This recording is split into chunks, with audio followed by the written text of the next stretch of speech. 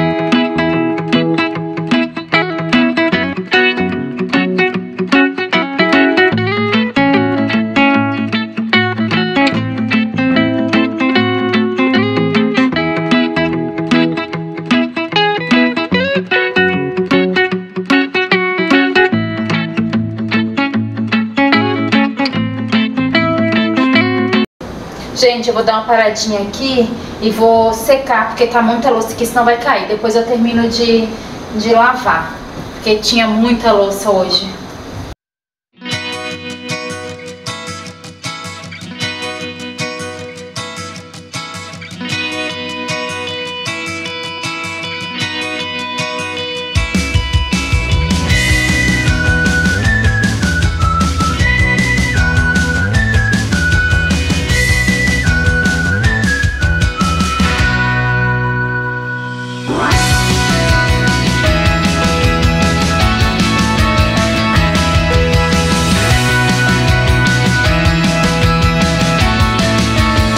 Bom, gente, agora que a pia tá mais livre, eu vou fazer o pão. O pão é no liquidificador, então ele não dá trabalho nenhum. Eu vou fazer ele aqui agora, vou bater. Aí enquanto ele descansa, porque tem que descansar 30 minutos, eu volto para terminar de lavar essa louça aqui. Vou pegar aqui agora para fazer o pão, vou mostrar para vocês todos os ingredientes, tudo que precisa para fazer. É muito fácil, gente, não precisa sovar nem nada. Bateu aqui, deixou descansar e coloca para assar. Bom, gente, eu tô aqui com todos os ingredientes separados. Eu vou deixar a lista dos ingredientes na descrição do vídeo e o modo de preparo, tá? Aqui no liquidificador eu vou acrescentar... Deixa eu levantar aqui a câmera um pouquinho. No liquidificador eu vou colocar dois ovos inteiros. Vou colocar meia... É, um, um quarto de xícara de açúcar. Vou colocar aqui meia xícara de óleo. Aí vou colocar também uma pitadinha de sal. Pronto. E junto, ó, eu tenho uma xícara e meia de leite morno. Ele não tá fervendo e também não tá frio, tá morno. Vou colocar aqui. Uma xícara e meia de leite morno. Agora eu vou bater tudo por mais ou menos dois minutos. Deixa eu ver se eu coloquei a tampa certa aqui, gente. Ó, esse lado aqui eu deixo pra cá pra ter o respiro, porque o leite tá quente. Só ligar agora.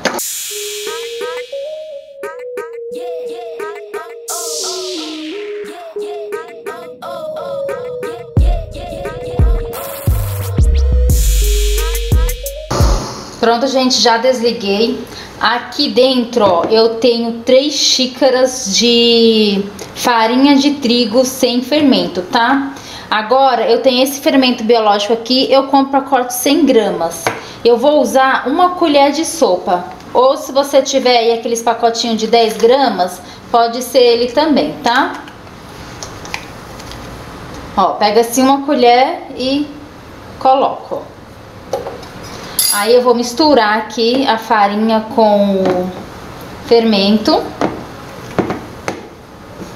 Gente, eu gosto de misturar com fouet porque é mais fácil, tá? Agora que já tá misturado, eu vou pegar o conteúdo que a gente bateu no liquidificador e vou misturar aqui. Coloco tudo de uma vez mesmo.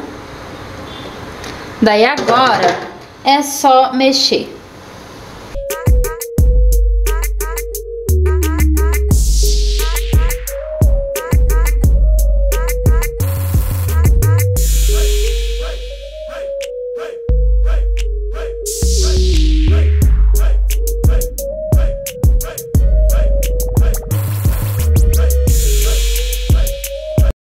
Ó, gente, ele fica assim mole mesmo, tá? Parecendo consistência de um bolo. Eu até chamo isso daqui de bolo pão. Porque eu acho que a consistência é igualzinha de um bolo.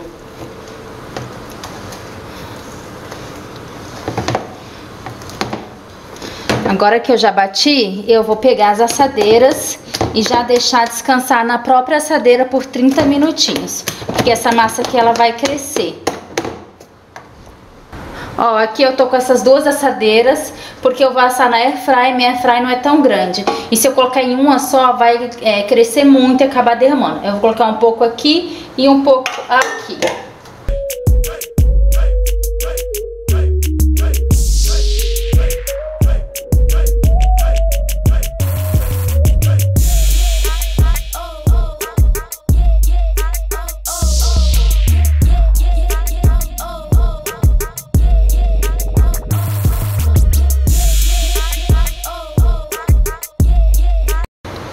Bom, gente, ó, coloquei nessa assadeira e nessa menorzinha aqui, vou só bater aqui pra espalhar direito.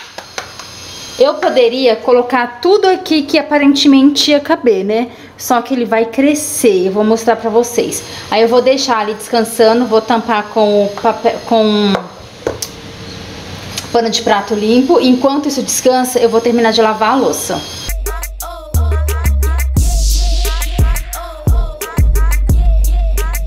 Vamos deixar aqui descansando e bora lavar a louça.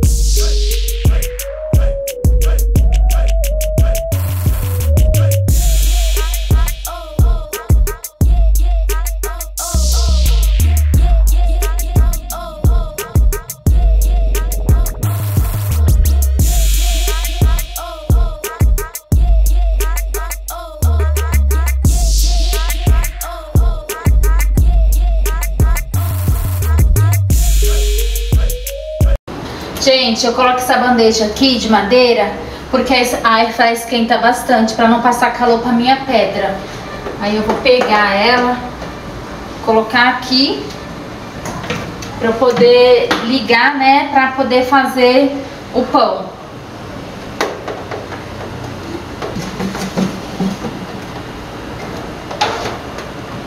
ficar virado pra conseguir abrir. Amores, agora eu vou fazer o sagu, tô usando esse aqui da Apt, mas eu gosto mesmo é do Ioki, só que eu fui no mercado e não tinha, eu vou fazer esse daqui. Pra fazer, gente, aqui na embalagem, ó, vem com o modo de preparo certinho pra você tá fazendo. Ele vai pedir é, 1 litro e 200 ml de água, que eu já medi aqui. Aí é só colocar aqui na panela e aí eu vou ligar o fogo e deixar essa panela começar a fazer bolinhas. Quando a água que eu coloquei aqui na panela começar a fazer bolinhas, aí eu vou pegar, ó, o conteúdo. Ó, vem dois pacotinhos, esse, essas bolinhas do sagu e esse daqui que parece uma gelatina. Quando estiver fazendo bolinhas no fundo aqui da panela que a água já estiver quente, eu vou colocar isso daqui e vou deixar cozinhar como fala aqui, ó. Até as bolinhas ficarem transparentes. De aproximadamente 15 a 20 minutinhos cozinhando. Depois de cozido, a gente acrescenta esse sabor aqui, esse pozinho que é de uva. Deixa aqui, eu já mostro pra vocês.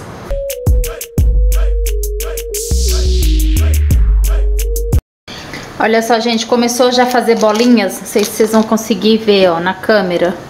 Mas tá fazendo bolinhas no fundo, ó, da panela. Então, deixa eu apoiar o tripé aqui. Já que tá começando a fazer bolinhas, eu vou colocar aqui as bolinhas do sagu.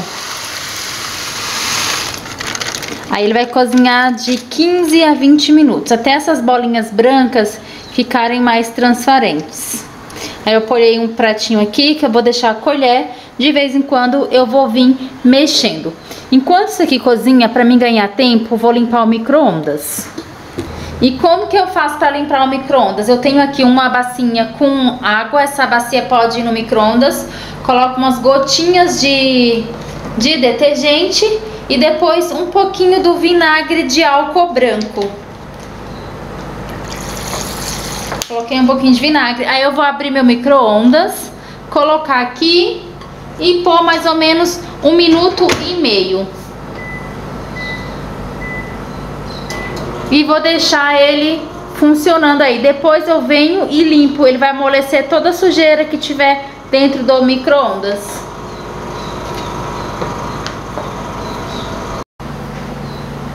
Bom, gente, já desligou. Vou abrir, ó. Ele fica bem suado dentro. Aí eu vou tirar essa água aqui. E com o paninho mesmo eu vou limpar tudo. Eu vou tirar da tomada para não correr risco, né? Vou tirar aqui. Ficou mais escuro, agora eu vou limpar ele todo.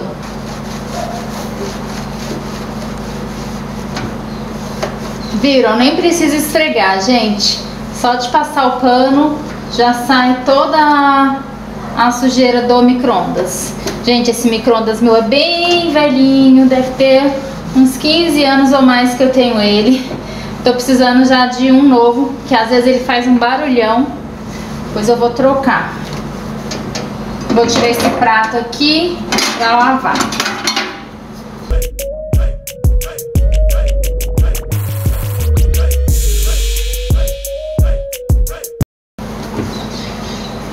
Fui lá, tossi o pano, tô passando novamente agora pra finalizar. Gente, ó, meu micro tá tão velhinho que ele até desgastou aqui já, ó. Essa até a pintura.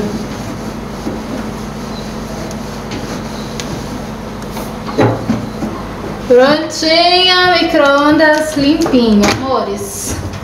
Ó como ele tá amarelado na frente. Pronto, micro-ondas limpo. Aí aqui, gente, ainda tá cozinhando, ó. Tem que esperar até ela ficar mais transparente. Tem só seis minutinhos que tá aqui.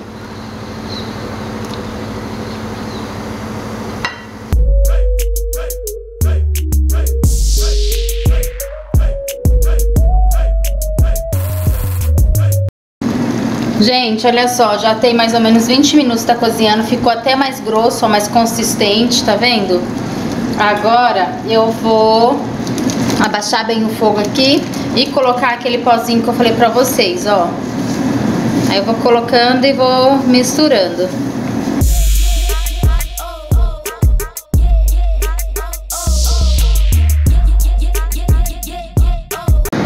Depois ele fica consistência parecendo uma gelatina. Depois eu já mostro pra vocês aí como ele vai ficar. Eu tenho um ali, na verdade, pronto na geladeira. Vou mostrar ele pra vocês. Daí agora, gente, eu vou desligar o fogo. Porque já tá pronto o nosso sagu. É bem simples, fácil, rápido. Uma sobremesa que a criançada adora. Você pode colocar no recipiente grande e levar na geladeira, mas eu já gosto de deixar em potinho individual, porque fica mais fácil para minha filha. Ela vai lá, pega e come, nem precisa de ajuda. Aí eu vou colocar nos potinhos e colocar na geladeira. Daí aqui eu vou usar uma concha, ó. Só colocar nos potinhos e levar à geladeira.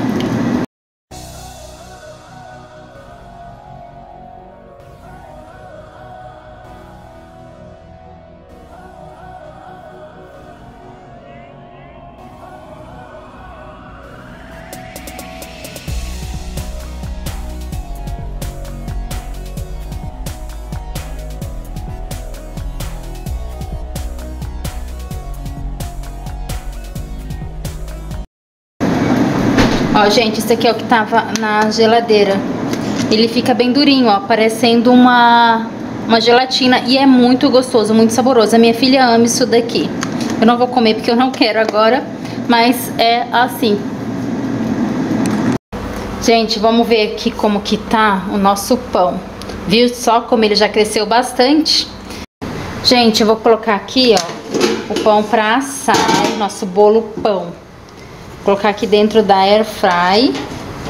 Ó, ela cabe direitinho aqui dentro. Deixa eu virar mais pra vocês verem. Ó, minha bandejinha cabe bem aqui. Vou colocar. E agora, gente, eu vou programar aqui, ó, a 120 graus por 30 minutos. Acabou os 30 minutos, eu não vou abrir para ele não murchar. Venho e coloco a 180 graus por mais 10 minutinhos só para dar uma dourada. Aqui primeiro é para ele cozinhar por dentro para não ficar cru, depois a gente bota ele para dourar, tá bom? Agora vamos deixar aí.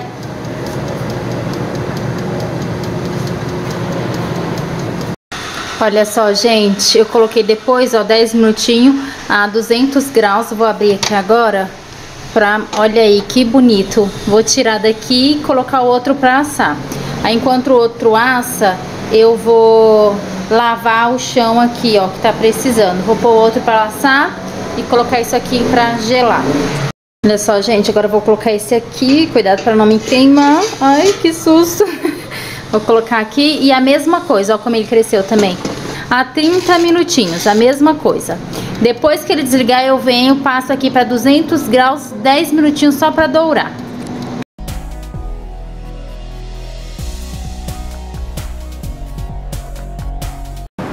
Gente, eu vou usar esse P Perfumes aqui para poder lavar o chão. Já tá acabando já.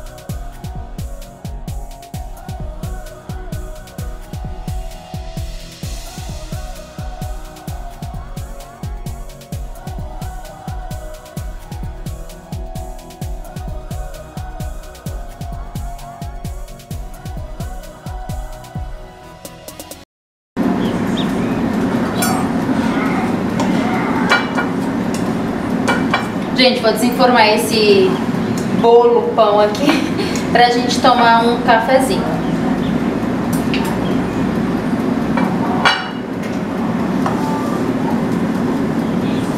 Tá quente.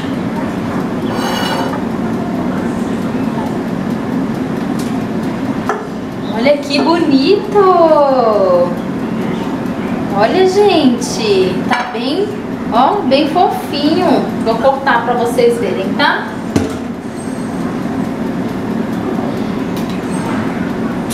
Vamos ver. Hum, tá bem fofinho. Ó, que fofinho. Ai, cheirinho bom, vou fazer um cafezinho ali agora na máquina, tomar um cafezinho, mas deixa eu mostrar pra vocês primeiro aí que a cozinha já tá toda organizada. Bom, gente, olha só, a cozinha já tá toda bem limpinha, ó, bem organizada. Nosso bolo pão aqui, ó, prontinho. O outro já tá ali quase ficando pronto, daí quando ele ficar pronto só vou tirar, colocar a airfryer aqui no lugar dela, tá? E tá, ó, a cozinha já tá tudo ok. Daí eu vou tomar um cafezinho e vou descansar. Vou encerrar meu vídeo por aqui hoje. Espero que vocês tenham gostado desse vlog, desse estilo de vídeo eu cozinhando, tá? Se gostou, já deixa o like e marca aí pra mim, Carla, faz mais vídeo assim que pra mim fazer, tá bom? Beijo pra vocês, tudo de bom. Bom, meus amores, esse foi o nosso vídeo de hoje, um vlog mostrando aí uma limpeza na cozinha depois do almoço. Espero que vocês tenham gostado. Se vocês fizerem alguma dessas receitas, deixe aqui abaixo nos comentários falando o que vocês acharam, tá bom? Também me segue no meu Instagram, Dicas da Carla. Eu posto muita coisa assim da minha casa, do meu dia a dia pra vocês. Um grande beijo e até o meu próximo vídeo. Gente, prometo pra vocês que eu vou me arriscar muito mais na cozinha, tá? Não sou tão boa não, mas vou me arriscar. Tchau!